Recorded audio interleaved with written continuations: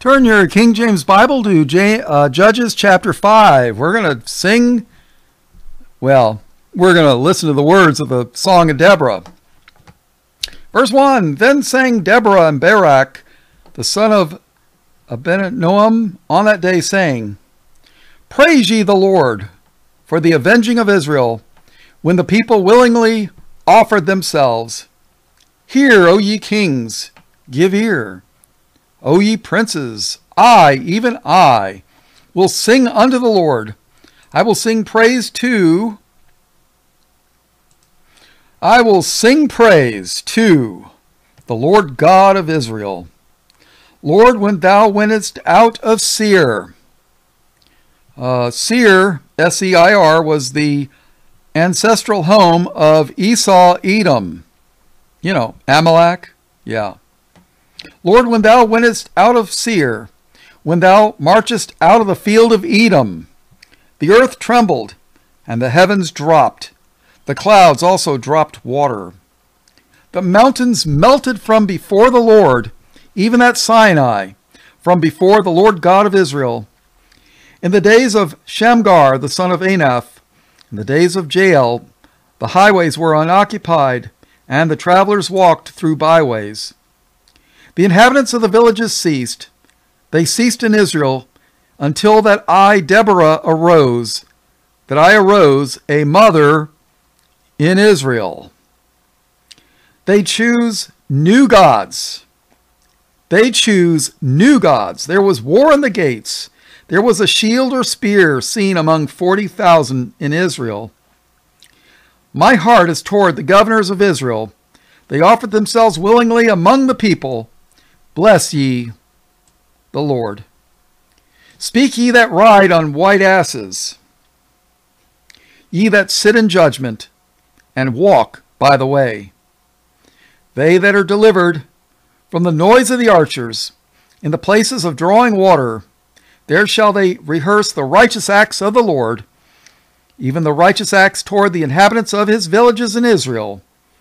Then shall the people of the Lord go down to the gates.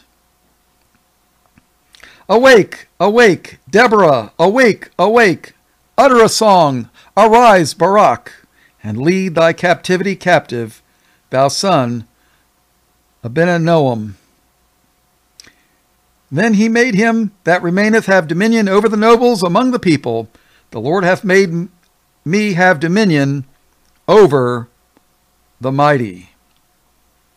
And if you don't know it, dominion uh, is where they get the word dominate. Verse 14 Out of Ephraim there was a root of them against Amalek. After thee, Benjamin, among thy people, out of Machir came down governors, and out of Zebulun they that handle the pen of the writer. And the princes of Issachar were with Deborah, even Issachar and also Barak. He was sent on foot into the valley. For the divisions of Reuben there were great thoughts of the heart. Why abodest thou among the sheepfolds to hear the bleatings of the flocks? For the divisions of Reuben there were great searchings of heart. Gilead abode beyond Jordan, and why did Dan remain in ships?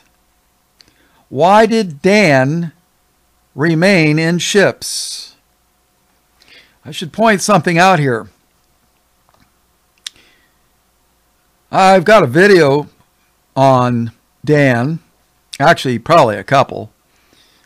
But uh, Dan, there's a lot of rivers in Europe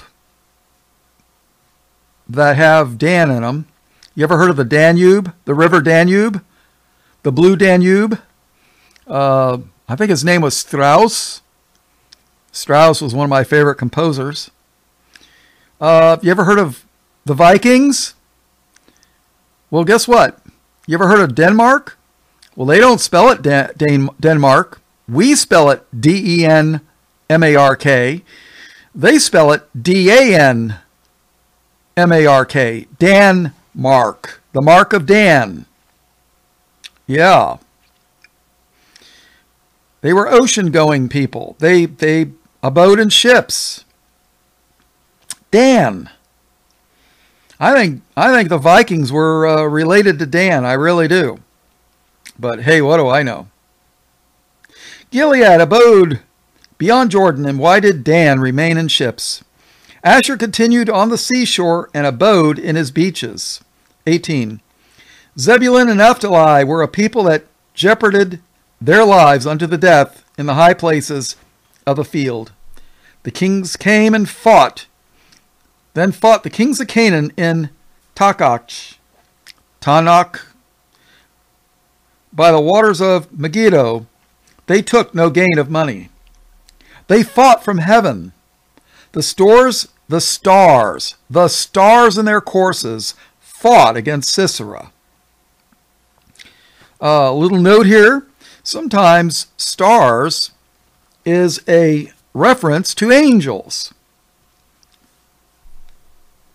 The river of Kishon swept them away, that ancient river, the river Kishon. O my soul, thou hast trodden down strength. Then were the horse hooves broken by the means of the prancings. Uh, a horse, when a horse prances, it's kind of like dancing. The prancings of their mighty ones. Prancing's not a walk and it's not a run. It's kind of, yeah. Curse Meroz, said the angel of the Lord. Ye bitterly the inhabitants thereof, because they came not to the help of the Lord, to the help of the Lord against the mighty. Blessed among women shall Jael, the wife of Heber the Kenite, be. Blessed shall she be above women in the tent. He asked water, and she gave him milk.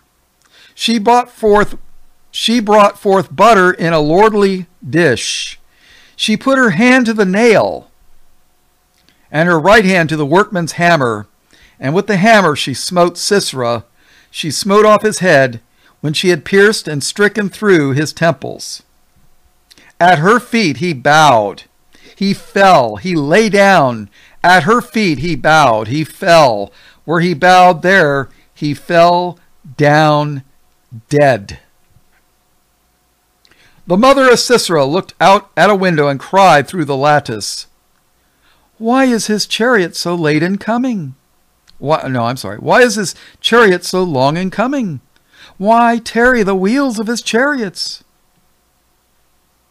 Her wise ladies answered her, Yea, she returned answer to herself. Have they not sped? Have they not divided the prey? To every man a damsel or two? To Sisera a prey of divers colors, a prey of divers colors of needlework, of divers colors, colors of needlework on both sides, meet for the necks of them that take the spoil. What are they talking about here? to every man a damsel or two. So, you know, when when you go into battle and you've killed all the men, you go into the village and find a couple of fine looking damsels, women, and you know, one or two.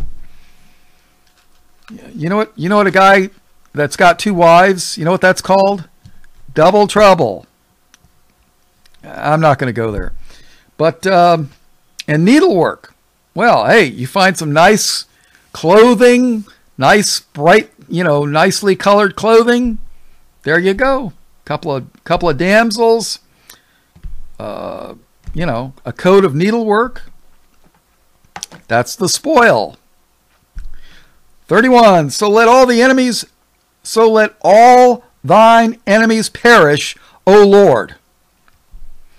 What? The Lord has enemies, but God loves everybody, they tell us. Well, they either don't know their Bible or they're liars. They're liars. So let all thine enemies perish, O Lord. But let them that love him be as the sun when he goeth forth in his might. And the land had rest forty years. Hmm. Yeah. There's a special meaning to that word 40 that number. You know, Noah was uh, in the ark 40 days and 40 nights. Jesus fasted for 40 days. Yeah. Yeah, numbers pop up in the Bible uh, pretty often. So uh, there's a guy named Ivan Panin, P A N I N, and uh, uh, Bullinger, B U L L I N G E R. Uh, they both had number uh, books on numbers in the Bible. Ivan Panin was a mathematician, uh, a mathematician, and I don't know exactly how the story goes, but somehow he discovered the numbers in the Bible and started doing a study on it. And next thing you know, he became a believer. He's like, "Yeah, this is too." This is too intricate to have just been written by accident or by men. He's got an interesting book. If you're, you know, if you're interested in a student, you know, um, I've read portions of Panin's book. I did read uh, Bullinger's book, but uh, Bullinger did a thing called the Companion Bible. It's got some good notes in it. Of course, nobody agrees with everybody, you know. So, what can I tell you? But yeah, 40, there's certain numbers that pop up in the Bible a lot 1, 3, 7, 10, 9, 10, 11, 12, uh, 24, and 40. Those numbers pop up a lot. So, something to think about.